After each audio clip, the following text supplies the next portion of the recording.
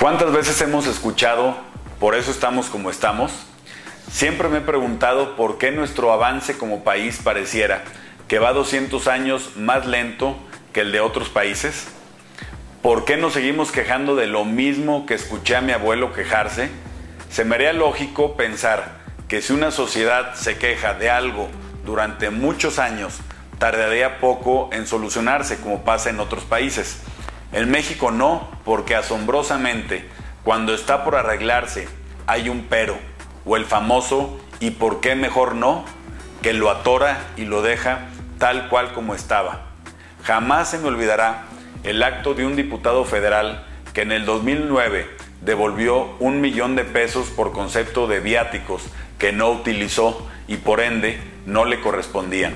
En Japón, Alemania, Canadá, Francia, Inglaterra y muchos otros países. Este acto hubiera provocado la reacción y fuerte presión ciudadana para que todos los demás diputados hicieran lo mismo, pero no. En México no fue así y para asombro de toda lógica fue al revés. Al diputado federal le llovieron una serie de, pero seguramente se lo robó por otro lado y está devolviendo un cachito. ¿Y por qué no mejor lo donó? Pero seguramente quiere otro puesto y quiere quedar bien. ¿Y por qué no mejor dona su sueldo? ¿Y por qué no mejor utilizó si ya estaba presupuestado? Ahora yo pregunto, ¿qué hubiera pasado si los miles de ciudadanos expertos, analistas y sabedores de la verdad que criticaron este acto de honestidad y valor hubieran presionado a los 499 diputados restantes que no devolvieron ese millón?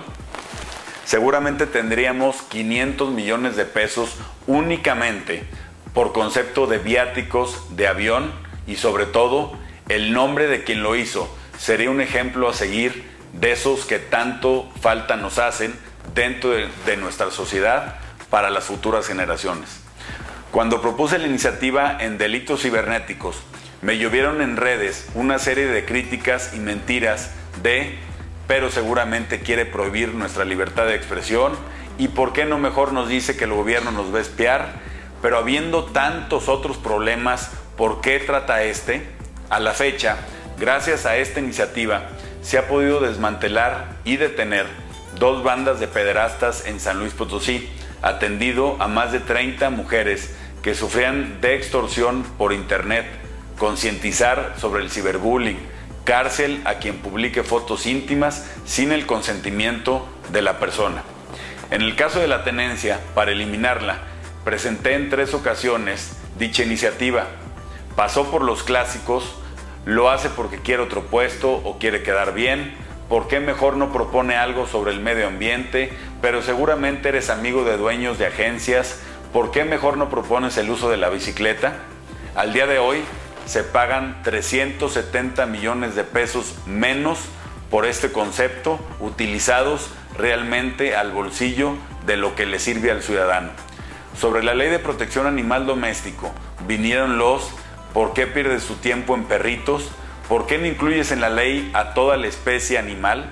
Pero lo haces por estrategia electorera ¿por qué no mejor incluyes al tigre, la jirafa o el elefante? Al día de hoy se han podido detener a personas que violaban a sus perros y comprobado está, lo siguiente hubiera sido con una mujer. Hoy la ley de San Luis es la que mejor funciona en el país, precisamente por no ser una ley electorera inventada o falsa que jugaría con los intereses y emociones de las personas para tapar otros temas como el aumento de más de 10 impuestos nuevos que casualmente la mayoría, eso sí, no recuerda. Si en países de primer mundo tienen una ley como esta desde hace más de 30 años, ¿por qué aquí en San Luis no podríamos? Sobre la reducción del aguinaldo de diputados en un 60%, que desde que soy niño he oído únicamente quejas y críticas cuando lo propuse, además de los típicos comentarios o peros de quiere otro puesto, quiere quedar bien, lo propone porque todavía no se casa, también vino el cuestionamiento de un estudiante en una plática en su universidad donde comenzó por ¿y por qué no mejor lo donas a medicinas? ¿Y por qué no mejor se bajan el sueldo? Pero eso no va a solucionar ninguno de los problemas que tenemos.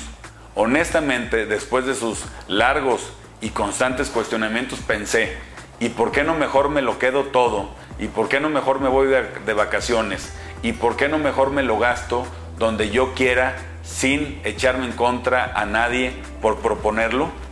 Ayer por fin se aprueba en comisiones la iniciativa de profesionalización en la administración pública, donde subdirectores, directores y secretarios de Estado tienen que contar forzosamente con una carrera titulada afín a la dependencia donde se están desempeñando.